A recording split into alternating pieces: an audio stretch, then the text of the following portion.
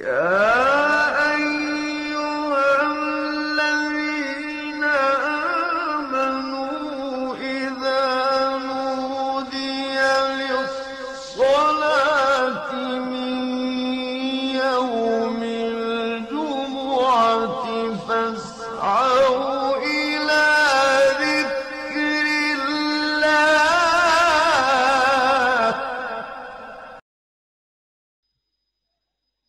الحمد لله الحمد لله الموصوف بالأوصاف العلية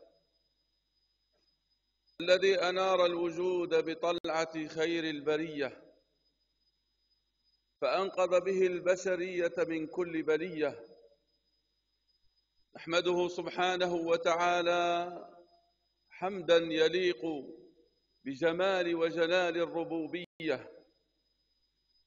ونشكره جل وعلا أن جعل من أمة المبعوث بالرسالة العالمية. وأشهد أن لا إله إلا الله وحده لا شريك له في أوصافه الذاتية. وأشهد أن سيدنا ونبينا ومولانا محمدا عبده ورسوله. شرف الله به العوالم العلوية والسفلية. فاللهم صل عليه وعلى آله وصحبه صلاة تلبسنا بها في الجنة حللا سندسية. أما بعد عباد الله أوصي نفسي وإياكم بتقوى الله. قال جل ذكره يا أيها الذين آمنوا اتقوا الله ولتنظر نفس ما قدمت لغد واتقوا الله إن الله خبير بما تعملون. واعلموا أن معنى كلمة الاحتفال أو الاحتفاء في اللغة هو كل اجتماع على فرح ومسره ولها معان أخرى. نقول احتفل المجلس بالناس إذا امتلأ بهم. ولها وله معنى آخر. لهذه الكلمة لها معنى آخر. كأن يجتمع الناس لتكريم شخص ما فيقال احتفلوا به. فلكلمة الاحتفال معاني لغوية متنوعة.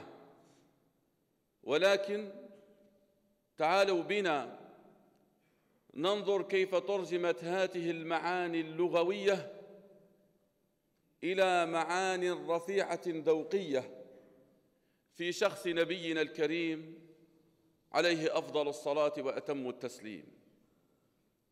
ففي حياته وقبل هجرته صلى الله عليه وسلم أكرمه الله تعالى بمعجزة الإسراء والمعراج. فلما وصل إلى بيت المقدس استقبله ساداتنا الأنبياء عليهم السلام من أولهم إلى آخرهم مجتمعين لأجل مقدمه صلى الله عليه وسلم في هذه الرحلة الأرضية. فقدمه سيدنا جبريل عليه السلام فكان الإمام المقدم عليهم ثم بعد ذلك نصب له المعراج فكان كلما وصل إلى سماء احتفل به أهل تلك السماء وعلى رأسهم ساداتنا الأنبياء عليهم السلام. كل يقول مرحبا بالنبي الصالح ومرحبا بالأخ الصالح. صريت من حرم ليلا إلى حرمي كما سرى البدر في داج من الظلم وبت ترقى إلى أن نلت منزلة من قاب قوسين لم تدرك ولم ترم وقدمتك جميع الأنبياء بها والرسل تقديم مخدوم على خدم وأنت تخترق السبع الطباق بهم في موكب كنت فيه صاحب العلم. هذا نوع من أنواع الاحتفال به صلى الله عليه وسلم في العالم العلوي وفي حياته. صحابة نبينا الكريم رضي الله تعالى عنهم أجمعين ذاقوا هذا المعنى الرفيع وهم أهل اللغة. وأهل الذوق. نلحظ ذلك في هجرته صلى الله عليه وسلم حيث أن أهل المدينة المنورة الذين لم يكن جلهم قد راى النبي صلى الله عليه وسلم قبل مقدمه المدينة فرآه في مكة في بيعة العقبة بضع وسبعون رجلا وامرأتان أو ثلاثة فقط. ولكن لما أذن له صلى الله عليه وسلم في الهجرة وسمع أهل المدينة بذلك خرجوا رجالا ونساء شيوخا وشبانا وحتى الولائد والصبية والأطفال يستقبلونه صلى الله عليه وسلم. فكانوا يخرجون كل يوم في حر الظهيرة ينتظرون مقدمه عليه الصلاة والسلام فإذا لم يأتي يرجعون إلى رحالهم. ويعيدون الكرة في اليوم الثاني والثالث وهكذا إلى أن كان اليوم الذي قدم فيه رسول الله صلى الله عليه وسلم المدينة المنورة.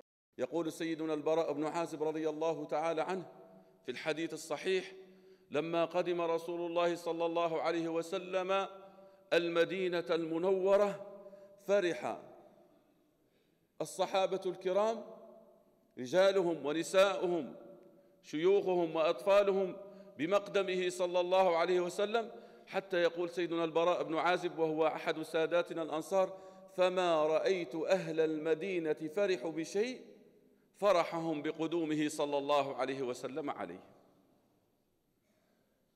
حتى صاروا ينشدون فرحين بمقدمه صلى الله عليه وسلم وأن مقدمه عليهم كان بمثابة طلوع البدر في الليلة الظلماء وأن مقدمه صلى الله عليه وسلم نعمة من النعم العظيمة يجب شكر الله تبارك وتعالى عليها فكانوا ينشدون طلع البدر علينا من ثانية الوداع من ثنيات الوداع وجب الشكر علينا ما دعا لله داع وتخرج فتيات صغيرات في حي من أحياء المدينة المنورة في حي بني النجار أخواله صلى الله عليه وسلم فتيات صغيرات.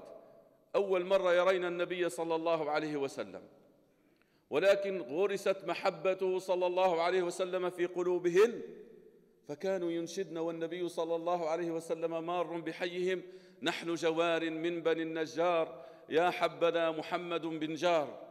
النبي صلى الله عليه وسلم علم أنه لا بد أن يبادي لهم الفرح والاستبشار وأن يبادي لهم العواطف والأحاسيس والأشواق والحنين. فنزل من على راحلته لفتيات صغيرات صلوات ربي وسلامه عليه فقال أتحببنني بهذا العمل؟ فقلنا نعم يا رسول الله. قال الله يعلم أن قلبي يحبكن. فعل فعله فتيات صغيرات نلنا محبة النبي صلى الله عليه وسلم من أول وهلة ومن أول نظرة لا بصلاة ولا صدقة ولا صيام ولكن بمحبته والفرح والاستبشار به لأن المحبة من أعمال القلوب وذرة من أعمال القلوب تساوي الجبال الراسيات من أعمال الجوارح. يخبرنا سيدنا أنس رضي الله تعالى عنه خادم رسول الله صلى الله عليه وسلم هو الآخر. بفرح أهل المدينة بمقدمه صلى الله عليه وسلم. في الحديث الذي رواه أبو داود والإمام أحمد. يقول لما قدم رسول الله صلى الله عليه وسلم المدينة المنورة لعبت الحبشة لقدومه فرحا بذلك لعبوا بحرابهم. يعلق شيخ الإسلام وأمير المؤمنين في الحديث صاحب فتح الباري على شرح البخاري الإمام ابن حجر العسقلاني على فرح أهل المدينة بمقدمه صلى الله عليه وسلم فيقول في فتح الباري ولا شك أن يوم قدومه صلى الله عليه وسلم عليهم كان أعظم من يوم العيد. كان عندهم أعظم من يوم العيد. بعد انتقاله صلى الله عليه وسلم تعالوا بنا ننظر إلى حال الصحابة الكرام واجتماعهم واحتفائهم به صلى الله عليه وسلم وهو في عالم البرزخ بل بذكر اسمه فقط صلى الله عليه وسلم. يذكر لنا الحافظ الذهبي في سير أعلام النبلاء أن سيدنا بلال مؤذن رسول الله صلى الله عليه وسلم. وتعلمون أن سيدنا بلال بعد وفاة النبي صلى الله عليه وسلم لم يستطع البقاء في المدينة المنورة. لم يتحمل. فاستأذن من الخليفة الصديق أن يذهب إلى الشام فأذن له.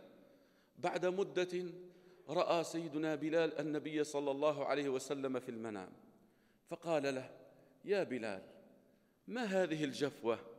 أما آن لك أن تزورني؟ فانتبه حزينا فركب راحلته وقصد المدينة المنورة. وقصد قبر النبي صلى الله عليه وسلم فجعل يبكي عنده ويمرغ وجهه شوقا ومحبة للنبي صلى الله عليه وسلم حتى جاءه سبطا رسول الله صلى الله عليه وسلم سيدي شباب أهل الجنة في الجنة سيدنا الحسن وسيدنا الحسين وهو يعلم مقدارهما وقدرهما عند النبي صلى الله عليه وسلم فطلبا منه طلبا. فقال له يا بلال نشتهي أن تؤذن لنا أذانك الذي كنت تؤذن لرسول الله. فلم يجد بدا من تلبية رغبتهما فوقف موقفه الذي كان يقف فيه على عهد رسول الله. فلما قال الله أكبر الله أكبر ارتجت المدينة. وقع خاص لأذان سيدنا بلال. وخرج النساء والأطفال. فلما قال أشهد أن لا إله إلا الله ازدادت رجتها. فلما قال أشهد أن محمد رسول الله. خرجت النساء من خدورهن وقلن أو بعث رسول الله صلى الله عليه وسلم ولم يستطع إكمال الأذان فخرجت كل من كان في المدينة المنورة فقط لسماع اسمه الشريف صلى الله عليه وعلى آله وصحبه أجمعين. ورفعنا لك ذكرك. هذه المعاني اللغوية التي ترجمها أو ترجمت في حياة النبي صلى الله عليه وسلم إلى معان ذوقية هي التي ينبغي أن يكون عليه حال المسلمين في كل زمان وفي كل مكان تجاه من أكرمهم الله تبارك وتعالى بالنسبة إليه. بشرى لنا معشر الإسلام إن لنا من العناية ركنا غير منهدم. لما دعا الله داعينا لطاعته بأكرم الرسل كنا أكرم الأمم. أقول قولي هذا وأستغفر الله العظيم لي ولكم. فاستغفروه تجدوه غفورا رحيما.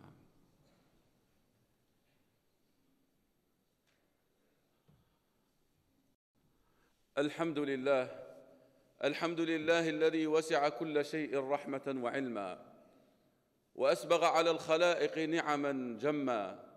نحمده سبحانه وتعالى أن من علينا بأفضل الخلق عربا وعجما. ونشكره جل وعلا أن جعلنا بالنسبة إليه خير أمة. وأشهد أن لا إله إلا الله وحده لا شريك له. شهادة تكون بيننا وبين النار سترا وحجبا. وأشهد أن سيدنا ونبينا ومولانا محمدا عبده ورسوله الذي فتح الله به قلوبا غلفا وأعينا عميا وآذانا صما فاللهم صل عليه وعلى آله وصحبه صلاة تنمو وتنمى. أما بعد عباد الله أوصي نفسي وإياكم بتقوى الله فهي وصيته تعالى للأولين والآخرين. قال جل ذكره ولقد وصينا الذين أوتوا الكتاب من قبلكم وإياكم أن اتقوا الله. واعلموا أن الفرح والمحبة أمران متلازمان. فإنما لأنك تفرح بمن تحب. ومن أحب شيئا أكثر من ذكره. احتفاء العوالم بالنبي صلى الله عليه وسلم يوم القيامة. نذكر مظهرا من مظاهر الاحتفال والاجتماع عليه صلوات ربي وسلامه عليه يوم القيامة. وذلك في ما جاء في حديث الشفاعة الذي هو حديث صحيح أن النبي صلى الله عليه وسلم قال أنا سيد الناس يوم القيامة. وفي رواية سيدنا أبي سعيد الخدري أنا سيد ولد آدم يوم القيامة ولا فخر وأنا أول من تنشق عنه الأرض ولا فخر وأنا أول شافع ومشفع ولا فخر وبيدي لواء الحمد يوم القيامة ولا فخر. كرامات يكرم الله سبحانه وتعالى بها. نبينا صلى الله عليه وسلم أنا سيد الناس يوم القيامة أتدرون مما ذلك؟ قالوا لا يا رسول الله. قال يجمع الله سبحانه وتعالى الأولين والآخرين على صعيد واحد. يسمعهم المنادي وينفذهم البصر وتدنو الشمس من الخلائق أو من رؤوس الخلائق فيصيبهم من الكرب والهم والغم ما لا يطيقونه ولا يحتملونه. فيقول بعضهم لبعض ألا ترون ما أصابكم؟ ألا ترون أحدا يشفع لكم عند ربكم؟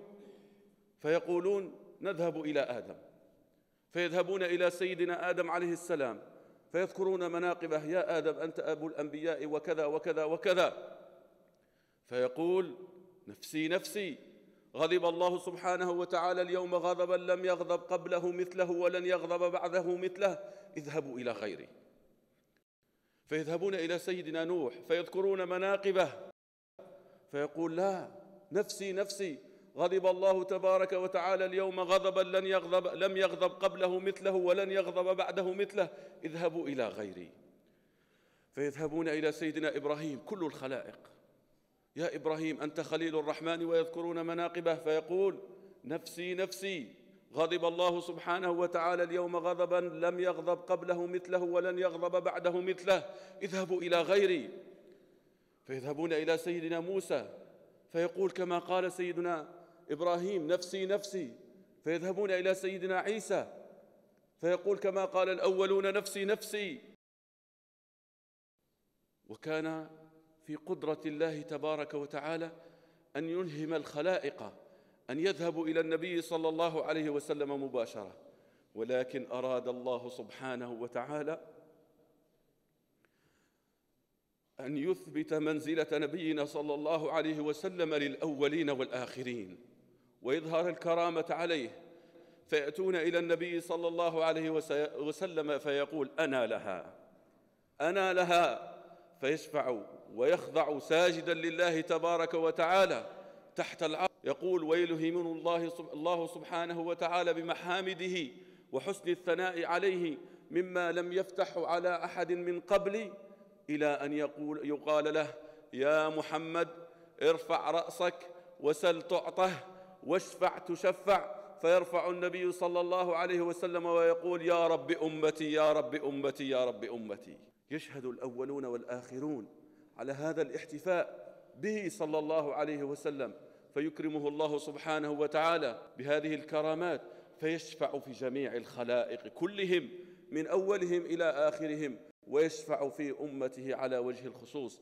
هذه المعاني التي ينبغي أن يكون عليها حال الأمة في الارتباط بسيد بسيدنا ونبينا ومولانا رسول الله صلى الله عليه وسلم لما في ذلك من الانعكاسات الإيجابية على الأمة في دنياها وفي أخراها. واعلموا أن أكثر شيء يقربك ويجعل المحبة يجعل المحبة تشتعل في قلبك وتشتاق إلى النبي صلى الله عليه وسلم كثرة الصلاة عليه.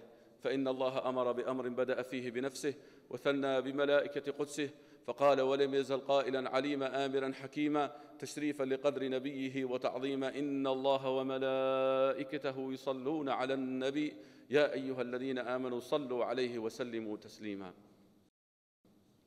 اللهم صل عليه في الأولين وصل عليه في الآخرين وصل عليه في الملأ الأعلى إلى يوم الدين. صلاة ترضيك وترضيه وترضى بها عن الأربعة الخلفاء السادة الحنفاء المميزين بعده صلى الله عليه وسلم بالرعاية والولاية والاصطفاء ذوي القدر العلي والفخر الجلي ساداتنا وأئمتنا وموالينا أبي بكر وعمر وعثمان وعلي. وارض اللهم عن الباقين من العشرة الكرام البررة الذين كانوا ممن بايعوا نبيك تحت الشجره وأهل المغفرة طلحة الخير والزبير وسعد وسعيد وعبد الرحمن بن عوف وأبو عبيدة عامر بن الجراح وارض اللهم عن عمين الناس حمزة والعباس الطاهرين المطهرين من الدنس والأرجاس وارض اللهم عن السبطين القمرين النيرين سيدي شباب أهل الجنة في الجنة وريحانتي نبيهاته الأمة الإمام أبي محمد الحسن والإمام أبي عبد الله الحسين وعن أمهما فاطمة الزهراء وعن جدتهما خديجة الكبرى وعن الموصوفة بالحميراء وعن باقي زوجات نبيك الكريم أمهات المؤمنين وعن الصحابة أجمعين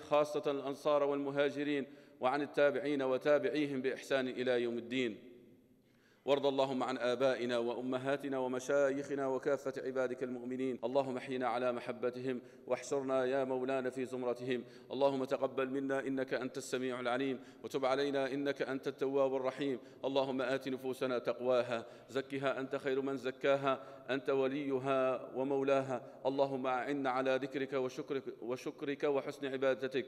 اللهم اجعل القرآن العظيم ربيع قلوبنا ونور صدورنا وجلاء أحزاننا وذهاب همومنا وغمومنا. اللهم اجعلنا بالصلاة عليه من الفائزين وعلى حوضه من الواردين وبشفاعته من المكرمين. إنك نعم المولى ونعم النصير. اللهم بارك في بلدنا وحقق فيها رجاء الصالحين وادفع عنها كيد الكائدين وحسد الحاسدين وبغض, المبغضين وبارك في من وليته أمرنا اجمع به شملنا ووحد به كلمتنا واضرأ به كيد الأعداء عنا ووفقه لخدمة العباد والبلاد وارزقه السداد والرشاد وسائر ولاة أمور المسلمين وسائر بلاد المسلمين. اللهم انصر الإسلام والمسلمين في مشارق الأرض ومغاربها وأيد إخواننا في فلسطين إنك على كل شيء قدير وبالإجابة جدير.